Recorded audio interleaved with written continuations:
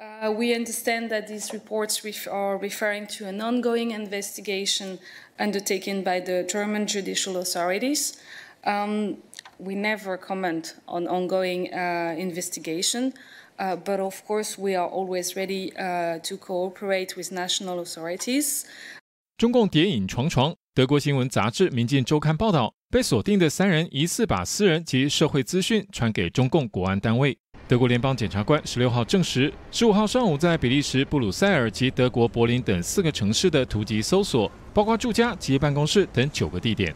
Two of them are accused of actually passing on information. One of them is accused of considering to do so.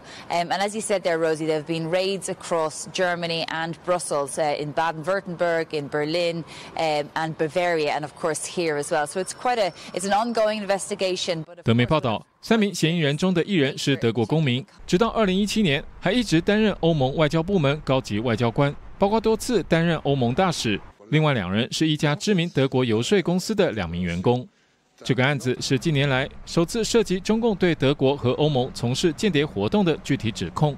中共正在渗透全球各国，企图建立政治影响力。有鉴于此，美国也不厌其烦地要求德国和其他欧洲国家将中国电信商华为排除在 5G 网站建设招标之外。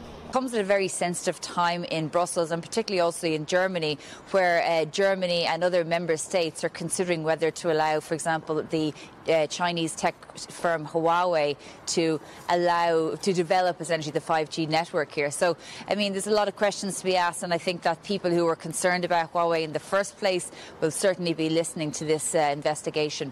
一年前，波兰逮捕了包括一名华为公司中国员工在内的两人， 并指控他们为北京进行间谍活动。德国联邦检察官发言人施密特表示，确认正在对情报人员的活动进行调查，但目前没有任何嫌疑人被逮捕。新华台电视国际新闻组编译。